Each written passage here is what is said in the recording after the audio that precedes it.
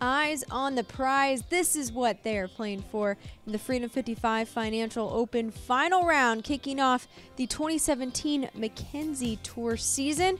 And Scott Vincent's kicking off our highlights, his very first hole of the day. And check it out, chips it in for birdie. He finished the day, though, at plus one, which moved him back to T8, along with Cass Hoffman.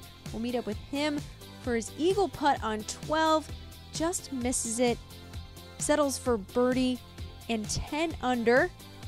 Jordan Niebrugge there on the 12th lifts out for birdie, settles for par. He finishes at 12 under on the day in second place. So remember that number because Lee McCoy took things away on Sunday.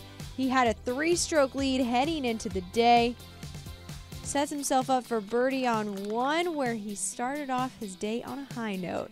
He birdied the fourth hole, and then the Tampa, Florida native goes on to birdie the sixth hole, a 15 footer there to get him to 15 under.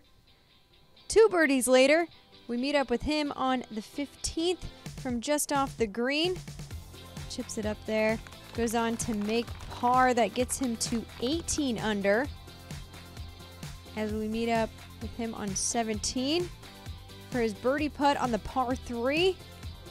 He was just a birdie machine. That got him to 19 under total, but he wasn't done because he finished with a birdie on 18 to get him to 20 under total, winning by a historic margin by eight strokes in the first event of the Mackenzie Tour season, his first professional win.